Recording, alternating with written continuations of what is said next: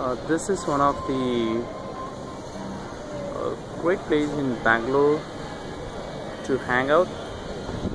So for shopping, this is a mall, and the place neighborhood is really great.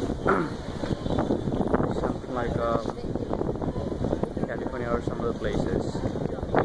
Backside is uh, Sheraton Hotel, and this building is uh, World Trade Center. I believe this is the tallest building in Bangalore. And some lake. The lake is decorated for Diwali.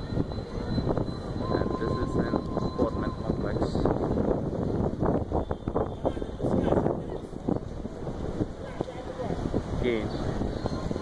This is a good hangout place for weekends.